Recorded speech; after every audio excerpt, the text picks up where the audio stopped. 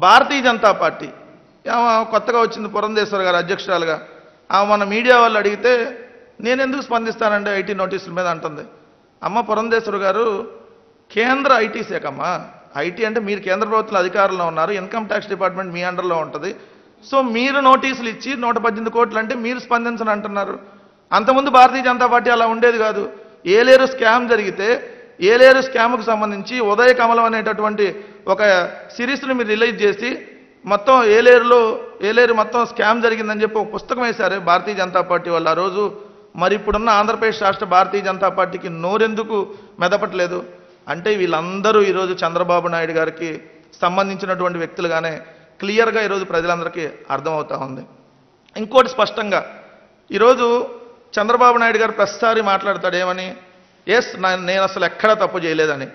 నేను అడుగుతా ఉన్నా లక్ష్మీ పార్వతి గారు వేసినటువంటి కేసులు స్టేలు నడుస్తూ ఉన్నాయి ఏలేరు స్కామ్కు సంబంధించి స్టేలు నడుస్తూ ఉంది.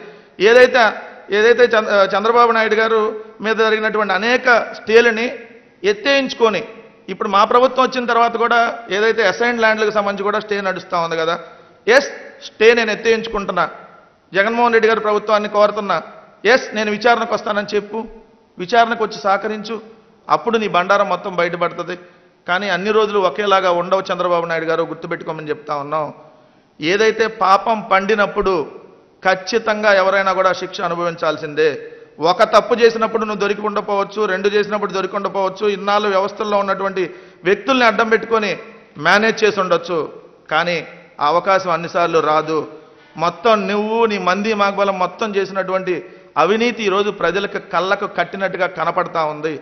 సో ఇది కళ్ళకు కట్టినట్టుగా కనపడుతుంది. ప్రజాక్షేత్రంలో ఆల్రెడీ నువ్వు దొంగగా దొరికిపోయావు కాబట్టి రెండు వేల పంతొమ్మిది ఎన్నికల్లో నిన్ను ఘోరాతి ఘోరంగా ఓడించారు. సో నువ్వు ఇంకా దొరకాల్సింది డైరెక్ట్గా ఏదైతే న్యాయస్థానాల్లో నువ్వు దొరకాలి అది కూడా రేపు దొరికేటటువంటి రోజులు దగ్గరలో ఉన్నాయి. ఇప్పుడు నిజంగా ఈ ఐటీ శాఖ ఇచ్చిన దాని మీద ఐటీ శాఖ మిగతా నువ్వు స్పందించట్లేదు కదా నేను అడుగుతా ఉన్నా సూటిగా. నే మీరు ఐటీ శాఖ తప్పుడు నోటీసులు ఇచ్చింది నాకు నా నా మీద ఇలా తప్పుడుగా రాస్తున్నారని మీరు భావిస్తే ఐటీ శాఖ మీద పరువు నష్టం దావాయండి కేంద్ర ప్రభుత్వాన్ని ప్రతివాదులుగా జాయిన్ చేయండి. ఎందుకు జాయిన్ చేయట్లేదు?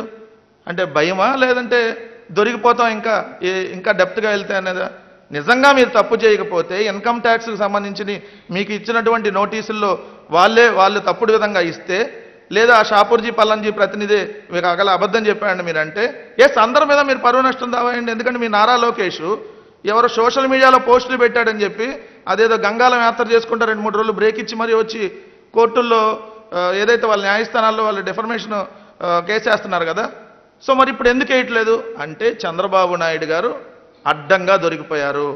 అందుకనే ఆయనకు అరెస్ట్ అవుతారనే భయం కూడా పట్టుకుంది కాబట్టి ఇంటికి వచ్చి ఒకళ్ళు రండి నాకు రక్షణ వలయంగా ఉండండి నన్ను కాపాడండి నన్ను ఏ క్షణంలో అయినా అరెస్ట్ చేస్తారని చెప్పి భేదారుపులు అరుస్తూ ఉన్నారు సానుభూతి కోసం మాట్లాడుతూ ఉన్నారు.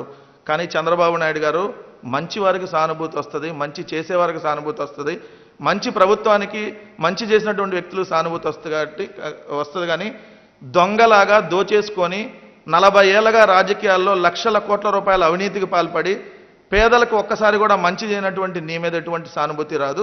ఖచ్చితంగా నీ టైం దగ్గర పడింది చంద్రబాబు నాయుడు గారు. ఖచ్చితంగా నువ్వు జైలుకు పోయే రోజు దగ్గరలో ఉంది. నీ పాపం పండింది నిన్ను ఎవ్వడూ కూడా కాపాడలేడు.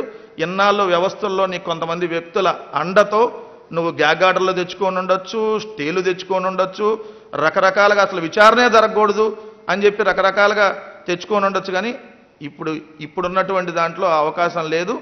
ఖచ్చితంగా చంద్రబాబు నాయుడు గారికి ఈడీ నోటీసులు కూడా రాబోతా ఉన్నాయి. ఖచ్చితంగా స్కిల్ డెవలప్మెంట్ కేసు కావచ్చు లేదంటే ఫైబర్ నెట్ కావచ్చు సారీ ఫైబర్ గ్రిడ్ కావచ్చు లేదంటే ఇప్పుడున్నటువంటి ఈ నూట పద్దెనిమిది కోట్ల రూపాయల లంచానికి సంబంధించి కావచ్చు చంద్రబాబు నాయుడు గారు ఖచ్చితంగా కూడా అరెస్ట్ అవ్వబోతున్నారని మాత్రం చెప్పబోతా ఉన్నాం.